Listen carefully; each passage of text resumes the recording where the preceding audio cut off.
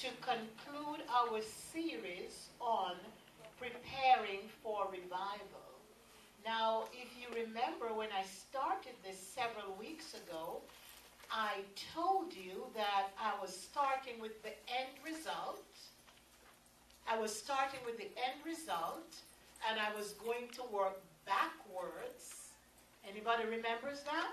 I was starting with the end result, and I was going to work backwards and show us how we achieve that desired result, how we achieve the end that we began with. Um, I'm not going to take much time for review because I have quite a bit I would like to cover tonight. But as usual, God overrules. Amen? He does the overruling. But I have quite a bit that I would like to do tonight. We, we started out with Ephesians chapter 5. We, we're actually um, started back, we started first in chapter 5, then we worked backwards to chapter 4, and we're ending up in chapter 5. We started with chapter 5, verses 18 through 21, and be not drunk with wine, wherein is excess, but be filled with the Spirit. And we noted that we weren't talking about the baptism of the Holy Spirit, but we're talking about an ongoing overflow in the Holy Spirit. In other words, just the way when we got born again, we trusted Jesus Christ to take away our sins. Now we must trust the Holy Ghost for an ongoing, daily leading us, taking us by the hand as the advocate, the counselor, the paraclete that he is, to take us daily walking with the Holy Ghost. Do you remember that? All right? And we said, spirit filled people speak to themselves in psalms and hymns and spiritual songs. Spirit filled people, they sing and make melody in their hearts to the Lord. They're controlled by the Spirit. Spirit filled people, their lives are characterized by thankfulness. They don't walk around with an attitude of entitlement. We're thankful and we're filled with the Spirit. Always thankful because you know what? God is a good God all the time. He never holds back on you. He's always good, not some of the time. He's always good. When you come to hard places in your life, He's still good. Hallelujah. He's always good, so we live a thankful life. Amen. It says, speaking to ourselves in psalms and hymns and spiritual songs, singing and making melody in our hearts to the Lord. And we noted that it continues giving thanks always for all things unto God and to the Father in the name of our Lord Jesus Christ. In verse 21, submitting one to another in the fear of the Lord. We prefer others before ourselves. And I continue to say, I have the formula for a successful, long lasting marriage. Jesus said, A new commandment I give unto you that you love one another. He said, By this shall all men know that you're my disciples if you have love one for another. And that's the agape. That's the foundation. When you get the agape right and you begin to submit one to another in the fear of the Lord, nobody's holding on to their rights. We're preferring the other person above ourselves. That's the agape that Jesus said will characterize his body, will characterize the people that are his kingdom citizens. Now, if you are living on a foundation of agape, which you shouldn't be unequally yoked with an unbeliever anyway. That is Bible. So if both of you are living this agape love on a platonic level, when you get married, that is still the foundation of the way you live. Everything is filtered through agape, then the phileo and the eros will fall into place. Are you with me here? So, when we're filled with the Holy Ghost, too many people think filled with the Holy Ghost is walking around and speaking in tongues all the time. You speak in tongues all the time, but that's private.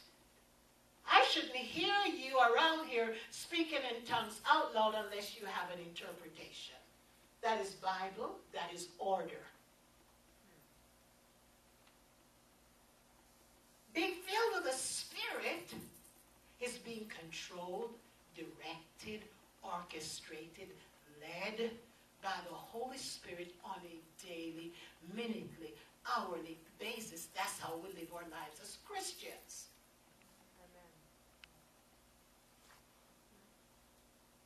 In an orderly church, it says when you when you speak in tongues, you edify, you build up yourself. Mm-hmm. Yes. But when you speak out, you edify the body. But we don't understand tongues, so if you have that, God will also give you the interpretation.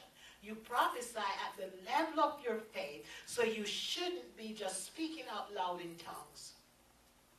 It's for your private worship. And you can speak in tongues in church, but you sit in your chair and you do it to yourself. Are you with me? Yeah, praise God. Amen. That's order. That's Bible. But I'm back to being filled with the Holy Spirit is not only speaking in tongues. Paul says, I speak in tongues more than all of you. But in the congregation, I would rather speak two words in a known language. And he was not being negative about tongues, he was referring to order. Order in the church. When an unbeliever comes in and everybody's jumping all over and speaking out loud in tongues, think we're mad uh-huh. because they don't understand what uh-huh. we're talking about. Uh-huh. And that was not God's intention. Uh-uh. Are you with me here? Yes. So we have to be controlled, directed, led, guided by the Holy Spirit on a consistent basis. That is a spirit filled life. That's how come we can demonstrate the joy of the Lord at all times, which is a fruit of the Holy Spirit. Yes, amen. The Holy Spirit is in us. That joy of the Lord is bubbling out of our bellies. Are you with me here? Mm-hmm. In other words, it doesn't mean you're never going to have a problem because you will. Hello. But if your strength fails in the day of adversity, your strength is small. That's what it says in Proverbs. Anybody can jump up and down when everything is going right. It's supernatural. When you demonstrate joy when everything is going wrong, that's something the devil has no answer for. He just has to back up and leave you alone. Because that is supernatural. When everything is going well, it doesn't take any faith because everything is going well. Hello. Are you with me here? That's right. Praise the Lord. All right. Let me see if I can transition into tonight's lesson and um, believe God to get through it because I want to finish this tonight. Okay. All right.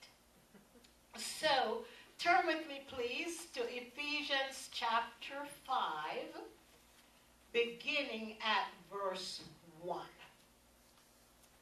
Actually, the way this works, really, if we get all of the meat out of verses 1 and 2, the rest of the passage up to about verse 11 pretty much takes care of itself. So let's see if we can um, do that. In verse, verse 1 it says, verses 1 and 2, Be ye therefore followers. Well, when it says therefore, it is um, connecting to the passage that went before. So let's go back to chapter 4 and verse 30 and begin reading there. And grieve not the Holy Spirit of God, by whom you are sealed unto the day of redemption. Let all bitterness and wrath and anger and clamor and evil speaking be put away from you with all malice. Verse 32 and be ye kind one to another, tenderhearted, forgiving one another, even as God for Christ's sake hath forgiven you. Be ye therefore, okay, when we're kind to one another, tenderhearted, forgiving one another, even as God forgave us, then we're demonstrating what it says in verse 1 that we are followers of God as dear children. Are you with me? Followers of God as dear children and walk in love. As Christ also hath loved us and hath given himself for us. Notice this it took me three weeks. I meditated on this for three weeks because I could never get it. Maybe you're smart and you'll get it right away, but I could not get it why it had an offering and a sacrifice. But I got it. Glory to God. And hopefully you'll get it tonight. An offering and a sacrifice. I couldn't see why they needed both words and what was the significance and what it indicated. But I got it. Praise the Lord. I waited and I got it. But it says, and walk in love as Christ also hath loved us and hath given himself for us, an offering and a sacrifice to God for a sweet smelling savor. So here in verse 1, beginning at verse 1, we're admonished to be followers, to be followers of our Father. And notice the endearing term that is used here dear children. Dear children. He uses an endearing term. Or we could translate it as children beloved. That's how God looks at us. We're children beloved. Hallelujah. He's not trying to beat us over the head. He's not trying to tell us how bad we are. He's calling us dear children. In the Greek, it's tekna agapeta. Do you see the word agape in there?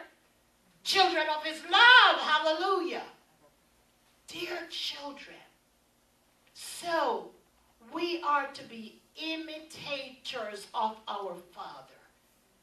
Oh, come on. If you have children, you know, when my girls were little, they liked to get in my closet and wear shoes, wear high heel shoes, and get into my makeup and, and, and all that stuff. They were imitators. The girls were imitators of their mother.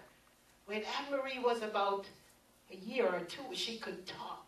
She says, when I grow up, I'm just going to be just like my mommy. I'm going to go to work and I'm going to come home and I'm going to comb hairstyle. She's going to be just like mom. And somebody met her and said, Does she have to have all those lipstick in her purse like you? Imitators. Hello. Imitators. She was imitating her mommy, so now it becomes a lifestyle. Come on, are you catching this? Glory to God. We've got to be imitators of our daddy until it becomes a lifestyle. It gets in our gut.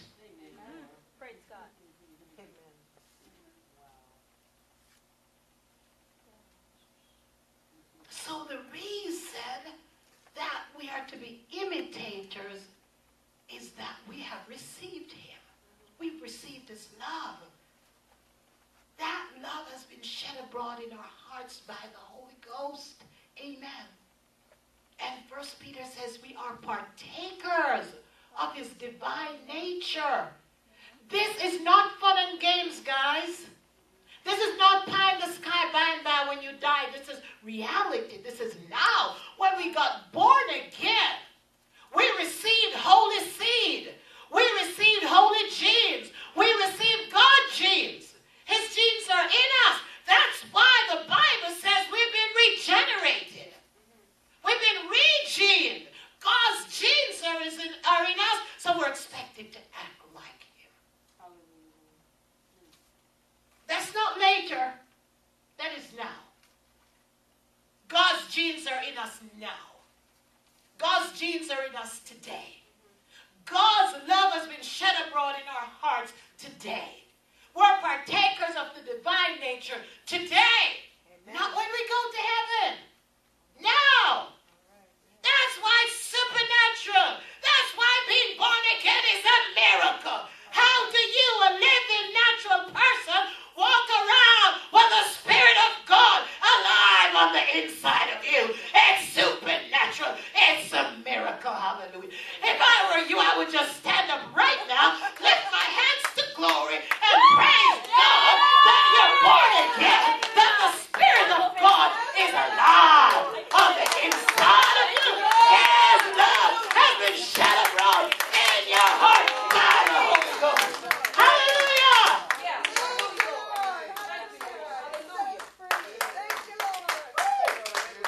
Hallelujah! We act like our Father. Thank you. You may be seated. And the Bible says God is love. He's agape. He is love. Amen. So we imitate our Father. We act like Him. Then it becomes second nature. Because it is second nature. We're not just acting, He's in us. The reality is in us. We have to recognize that. Amen. The next verse goes on to say, and walk in love. As Christ also hath loved us and hath given himself for us, an offering and a sacrifice to God as a sweet smelling savor. So, in this book of Ephesians, we keep finding the word walk. And it just doesn't mean put one foot in front of the other and walk. It has to do with the totality of our behavior. Are you with me here? So, what in effect it's saying here, be constantly ordering your behavior within the sphere of that agape love that's in you. Be constantly ordering your behavior within the sphere of that love of God. It doesn't come naturally in the beginning. It's a struggle because your flesh is still alive. Your flesh is still alive. So you have to allow the Spirit of God in you by faith to dominate that sin nature that wants to rule your life all the time. Amen? Amen. But we have to Amen. realize that agape is in us and, and let it overrule. Amen? This is the love that was exhibited on the cross. Where Jesus Christ did not only give himself for us, but he went on the cross in place of us. He went there in our stead. He became our substitute. He paid the full penalty. Because God's holy law was violated. Sin violates God's law. God's law.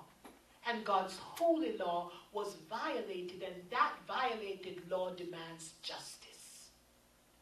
It demands justice. And so this agape love took our place on the cross. That the justice of God was satisfied at the expense of Jesus Christ's life. And we were given that life and given the opportunity of forgiveness and grace and pardon and redemption and ransom and justification because of the agape love of God. Are you with me? That's what was demonstrated on the cross. And that's what Paul did an, an analysis of in 1 Corinthians chapter 13. And we also find him listing that agape love in Galatians 5.22 as a fruit of the Spirit. a fruit of the Spirit. Amen? So, when, come on, get out of my way. Thank you. So when this self, self-sacrificing love becomes a deciding factor in our choices and a motivating factor in our actions, we can say we're walking in love. Are you with me here? Let me say that again.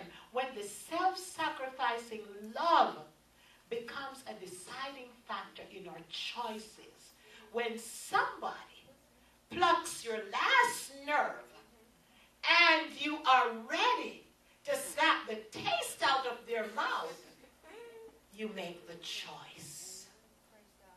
You make the choice to walk in love. You make the choice to smile even when you don't want to. You make the choice. Come on. You get the whole idea? You make the choice. You choose.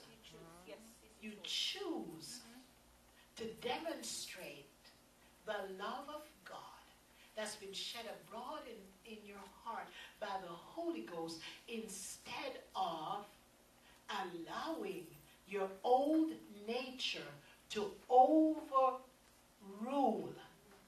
the choice Yes. to be like your Father. Does that make sense to you? Yes. Are you with me here? Yes. Okay. So, this is not performance. This is not something you, you grit your teeth and, and struggle to do. It's not performance. It's yielding to the person of the Holy Ghost that's in you, Mhm. helping you, and guiding you, and leading you, and encouraging you Mhm. to do it God's way. You're not out there on your own. You're not out there on your own. He's with you. He's in you as your advocate and your counselor and your paraclete to be with you. You're not out there on your own. But if you don't pay attention, the devil will tell you you're out there on your own and you can't make it, so you have to fly off the handle the way you always did. But how many know he's a liar? Oh, yeah. You don't have to listen to him. You already know his character. It never changes. He's always a liar. And he's always a thief. He comes to thief, steal your peace, and to steal your relationships. Because when we're walking in love, we're going to be able to have good relationships and to maintain good relationships when we're walking in love. Amen? So it's yielding. It's not performing. It's not trying to do it yourself Mhm. and grit your teeth and it's really hard. It's yielding. It's yielding to the Holy Ghost. Baby, if for you that means counting to ten, count to ten. Mhm.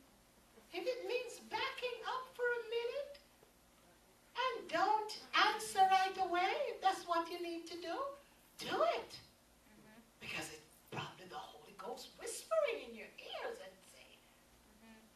just slow down for a minute. Mhm. Just slow down and find your center. Just calm down. You don't have to answer right away. Yeah, you don't have to answer right away. Yeah. Amen. Glory to God. So, now, let's look at offering and sacrifice. I love it. offering and sacrifice. I did a lot of study on this because I, I, I, I just I just couldn't get it. All right, now, so bear with me here. I, I want you to get this. All right. Offering, the word offering, it means to carry. Means to carry to. It is used of the blood offerings of the Levitical systems. Remember, in Leviticus, the animals were brought to the priest and they were slaughtered, and the blood was taken and sprinkled.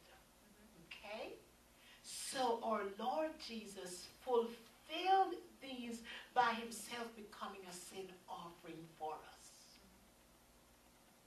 He went to the cross as an offering for our sin, as a substitute for us. Paul calls it, and John also, a propitiation, or literally a mercy seat. He became a substitute for us.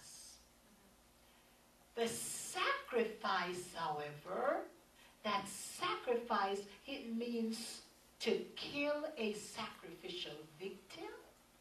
It means to sacrifice.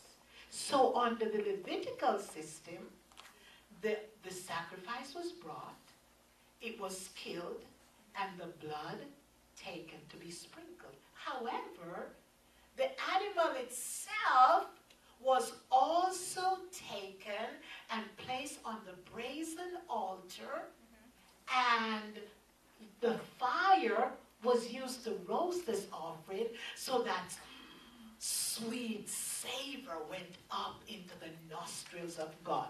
Are you with me? The offering has to do with the blood, and the sacrifice has to do with the carcass. Jesus became both. Oh, amen. Jesus became both. Yes. good. Yes, I, I, I, I've been reading this for years, mm-hmm. and I didn't get it. I get what, why do we have both of them? And I've been studying and studying, and it just, it just didn't click for me. I wasn't satisfied with, with what I was finding. But now, now I got it. Now I got it. Did you get it? Yes. You get it? Amen. Simple, isn't it? Amen. Amen. So Jesus Christ fulfilled both the offering and the sacrifice. Let's turn to Hebrews chapter 10. The writer to the Hebrews refers to this. Hebrews chapter 10, we'll read verses 8 through 14. Hebrews chapter 10. Let's read from verse 7. Then said I, Lo, I come in the volume of the book, it is written of me, to do thy will, O God. Above when he said sacrifice, notice here, in, in Hebrews, it's talking about sacrifice and offering. Sacrifice and offering and burnt offerings and offering for sin, thou wouldst not, neither hadst pleasure in them. God did not have any pleasure in those dead sacrifice. It was a temporary measure the true sacrifice, the only acceptable one, Jesus Christ, would have come. It says he had no pleasure in them. Verse 9 Then said he, Lo, I come to do thy will, O God. He taketh away the first, he taketh away the, the old, the, the dead animals being brought. He took that away and then he established the second, which is the one true sacrifice. Verse 10 By which will we are sanctified, notice this, through the offering of the body of Jesus Christ once for all. Hallelujah. He did it one time. It was acceptable to the Father. It never has to be repeated again. Hallelujah. Thank you, Lord. Glory to God. Hallelujah. Verse 11, and every priest standeth daily ministering and offering, notice here, offer the same sacrifices which can never take away sins. But this man, after he had offered one sacrifice for sins forever, sat down on the right hand of God, from henceforth expecting till his enemies be made his footstool. Verse 14. If you haven't memorized this verse yet, it's a good one to memorize. For by one offering he has perfected forever them that are sanctified. Listen to me. Are you sanctified? Yes. You're sanctified. You're set apart to God. You've been separated from your sins, but not just left in a vacuum. You're separated from your sins, but you're separated unto God. You are sanctified. I like to put it this way. Now you move up to the rank of the good china. You are in the, the china cabinet where you only come out at Thanksgiving and Christmas and special guests. You have the gold and the edges. You don't go in the microwave and you don't go in the dishwasher. You're too special. Hallelujah.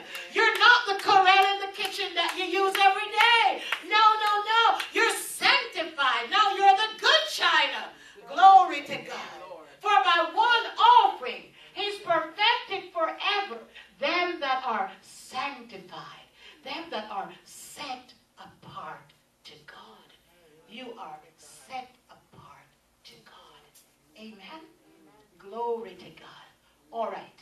Now, so all of that is in, involved in verses 1 and 2. All that I've just been saying is involved in verses 1 and 2. So as a result of learning and understanding and practicing verses 1 and 2 along with Galatians 5.24 because Galatians 5.22 and 23 list the fruit of the Spirit. But Galatians 5.24 says, those who are Christ have crucified the flesh with its affection and its lust, or some translations say with its appetites and its desires. Mm-hmm. Do you belong to Christ? Talk to me.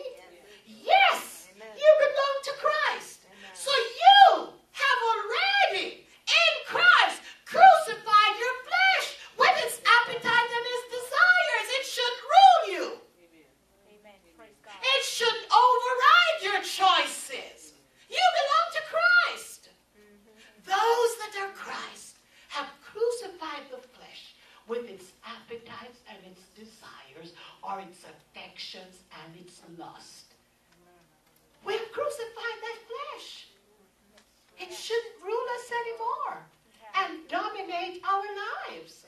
You get the whole idea here? So when we learn verses 1 and 2 of, of Ephesians chapter 5, and we practice that along with Ephesians 5 22 through 24, listen to me, we will manage to have victory over everything listed in the middle of the chapter.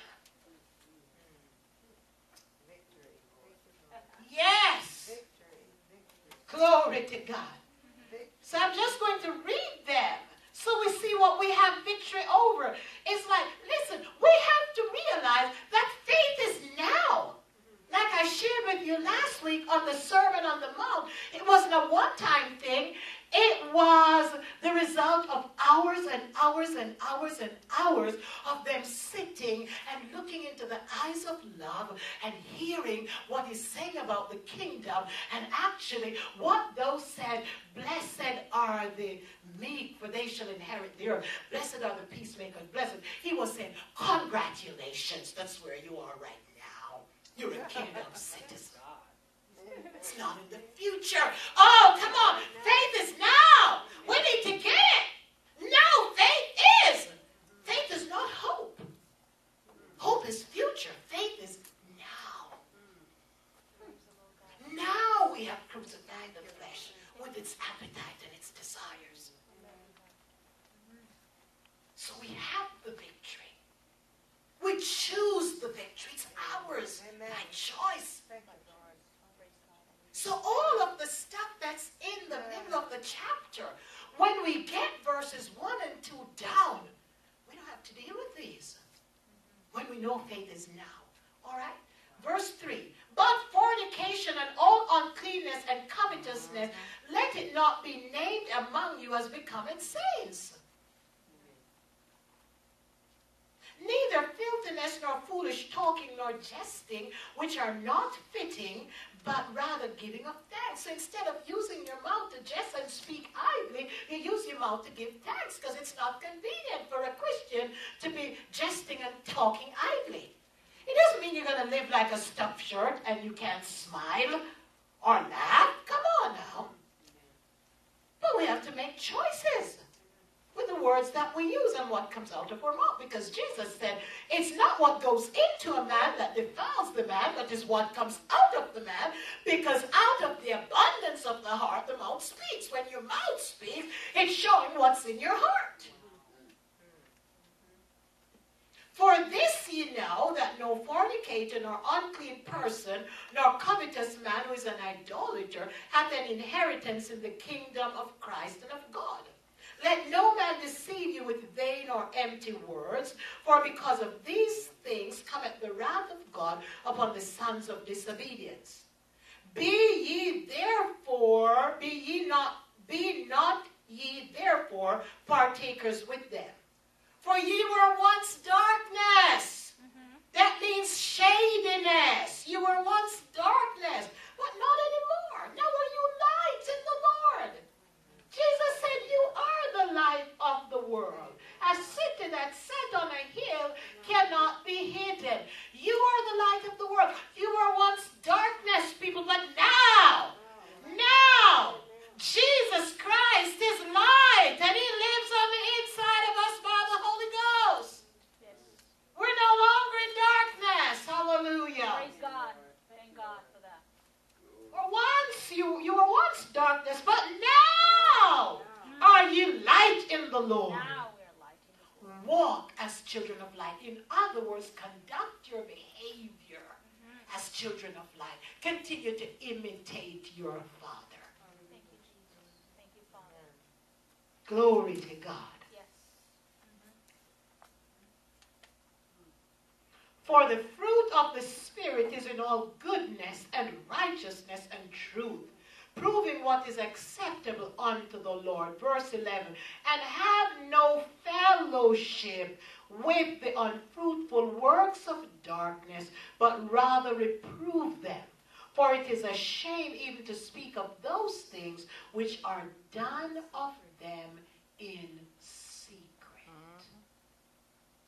We have no fellowship with the unfruitful works of darkness. We can't be buddy buddy with the unfruitful work, works of darkness, but we reprove them by showing them the love of God. We don't participate in what they do. We don't scorn them or stay away, but we have to take the light to them. We take the light to them, but we don't participate in the dark deeds. Hello? And if you're not strong enough, don't go yet. Don't go yet. Don't go till you're ready. Or take somebody with you. I guess that's why Jesus said, send them out two by two. The strong one and a weak one. Don't go into the bar yet. To try to get them out, and you come out like.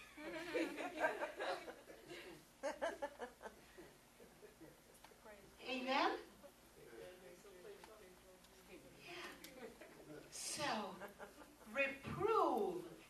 to admonish and to rebuke. All right? Don't get mad at me when I see you playing the fool and I rebuke you. That's my job. Don't get mad at me. You can get mad at me all you want. I'm still going to love you, but I'm going to rebuke you. I'm not going to love you enough to leave you in the mess. If I see you, I'm calling you on it. That's my job. Sorry. Still got to love me. Because I'm going to do it in love. But that's my job. I'm not going to stand idly by and let you serve the devil. Mm-mm-mm. Not going to do it. Wouldn't be prudent. Not going to do it. Wouldn't be prudent. Amen. Are you with me here? Yeah. Yeah. We have to walk as children of light uh-huh. because we are now lights in the Lord. Verse 13, but all things that are reproved are made manifest by the light. For whatever doth make manifest is light. I've told this story several times, and I'll tell this story again. When I first happened upon that verse, I just grabbed a hold of it and I used it for myself as a weapon in darkness. I tell the story of how I hired a manager, and all of a sudden, when I hired this manager, cash started to go wrong in my store. Cash started to come up short. Okay? And all my managers, and, and, and I say this, you know I don't have not a racist bone in my body. I'm Jamaican, out of many one people. But all the managers I hired were white. All the managers were white, and my bosses were white. And I'm a black Jamaican woman. So I, I, I know I never had cash problems until I hired this one. Joe, are you leaving? Did I offend you? I'm teasing. So I knew I never had a problem until this particular manager came in the store. And I knew, but they're not listening to me. And this one black woman talking to all of these white men, and they're not listening to me, and I know what I was talking about. But I didn't have the evidence yet. But I know it. Because if, if something is going wrong when a new person comes in, hello, that's not rocket science. So I went home and I pulled my Bible up. Maybe I had it at work with me. I pulled that scripture out and I said, Father, in the name of Jesus, I reprove this situation, Lord, and thank you for showing the light.